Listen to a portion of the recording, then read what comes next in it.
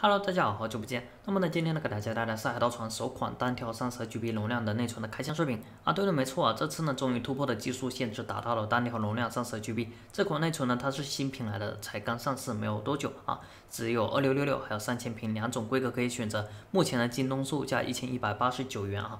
那么呢，你要生产单条容量三十 GB 的内存，需要有最先进的生产工艺，比如说第三代的十纳米技术，所以说它可以做到单颗颗粒两 GB 的容量啊。那么呢，一条内存上面有十六颗颗粒，十六乘二三十二 GB，所以说单条三十二 GB 就是这么来的。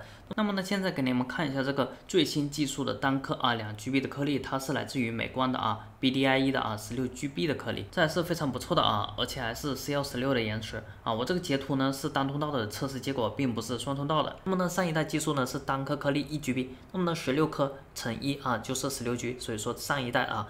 最大容量单条十六 GB，那么呢，这样的话在 ITX 平台上两个插槽，这样的话就会做到六十四 GB 的容量。如果在啊普通家用平台上，四条内存插槽，四乘三十二就可以做到一百二十八 GB，还是很不错的。那么呢，第一个推出三十二 GB 容量的内存的是三星，它是第一个有这种技术的。那么呢，第二家呢是美光，它也后来居上啊。所以说海盗船呢七月份宣布推出单条三十二 GB 容量的内存。那么呢，第三家呢是海力士，海力士呢它在上个月底的时候宣布啊即将量量产这种三十二 GB 的内存，当然目前京东还是没有看见啊，还没有上架。其实呢，我还是比较期待支持出三十二 GB 容量的皇家机压换光机。